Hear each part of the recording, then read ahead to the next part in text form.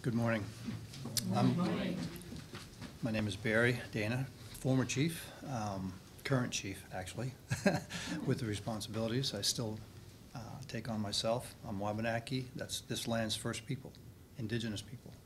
I was asked to come here today to talk about the native perspective and how we live with the earth.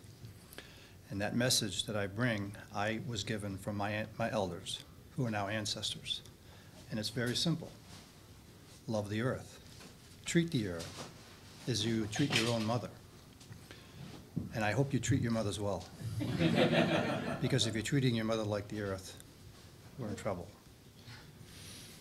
Do no harm to the earth, for that harm shall fall upon you and future generations. This message is probably more important now than it was then. It got me on the right path, but now that message has to be delivered to everyone, so we all are on the right path. We're living today as though we have infinite resources, infinite growth, and that is unsustainable. If we're simply asked by the Creator, by our mother, to do no harm, then we're failing. Why? Because of greed, because of war, war for oil, just for our entitled little lifestyles that we all live.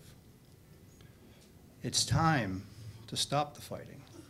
It's time to recreate. That's my word instead of convert. Recreate. So we're creating.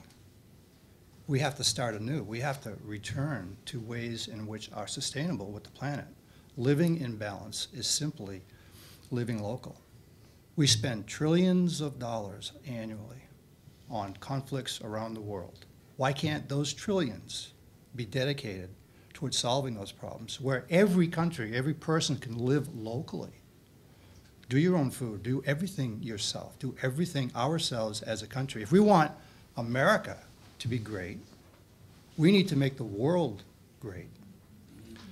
So let's start here, let's start now. Let's continue this path to make the world sustainable, healthy, so that we make a planet for future generations, one that works for all of us. All my relations.